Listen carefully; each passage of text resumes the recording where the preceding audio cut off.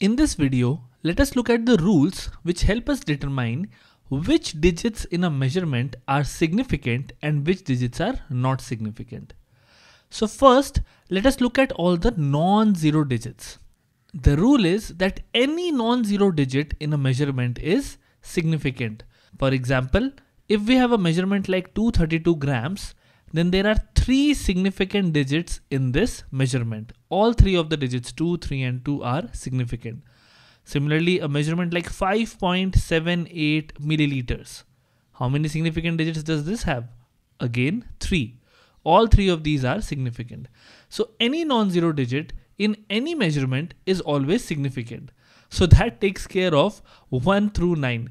That takes care of all these numbers. These numbers are always going to be significant. What is left? What is left is zeros. Let us talk about zeros now.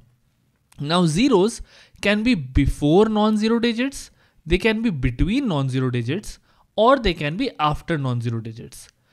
First, let us talk about when the zeros are before non-zero digits. Whenever we have zeros before non-zero digits, we can safely say they are not significant.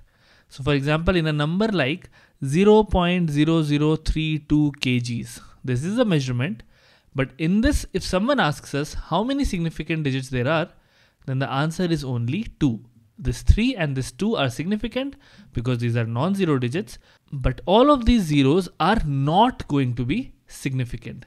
So any zeros that are before a non-zero digit are not significant. Okay, what about zeros between non-zero digits? These are always going to be significant. For example, a measurement like 40.009 liters. If someone asks us how many significant digits there are in this measurement, then the answer is 5. 400009. Wait, I think I said an extra zero there. But all of these zeros and the 4 and the 9, all of these are going to be significant. So there are 5 significant digits in this number. Okay, finally we are left with the zeros that come after the non-zero digits. In this case, there are two situations possible. The first situation is that there is a decimal in the number. If there is a decimal in the number, then those zeros are significant. For instance, if we have 521.00 centimeters, if this is a measurement, then all five of these digits, 521, because these are non-zero, and both of these zeros are going to be significant. There are five significant digits here. These zeros are coming in a number where there is a decimal. So both of them are going to be significant. Similarly, 491.30 grams. How many significant figures here? Again 5. All of these are significant. Finally, the only case we are left with are when zeros are after non-zero digits but there is no decimal in the number. For example, 52,000 grams. How many significant figures here? Only 2, 5 and 2. The other zeros are not going to be significant because there is no decimal in this number.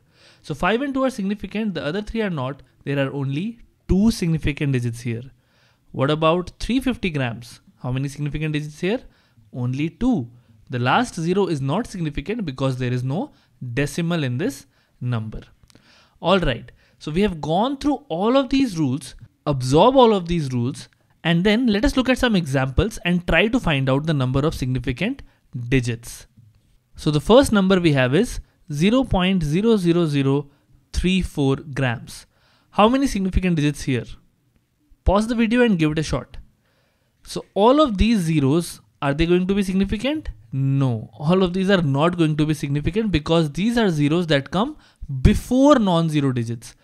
These two are going to be significant because they are non-zero digits. So only two significant figures in this number. What about 0.0209 centimeter cube? How many significant digits in this measurement? Again, pause and give it a shot. There are only three significant digits here. These two are not significant because these come before non-zero digits. This zero is significant because this is between non-zero digits. So there are three significant figures here. What about 258,000 seconds? How many significant digits here? Pause and try. there are three significant figures here as well 1 2 and 3 these are all not significant because these are zeros that come at the end of a number without a decimal finally this is the last one i'm going to give you 230.00 milliliters how many significant figures here the answer is all of them are significant. 1 2 3 4 5 5 significant figures. Because there is a decimal here so all zeros that come after the non-zero digits are going to be significant. So all of them are significant and we have five significant figures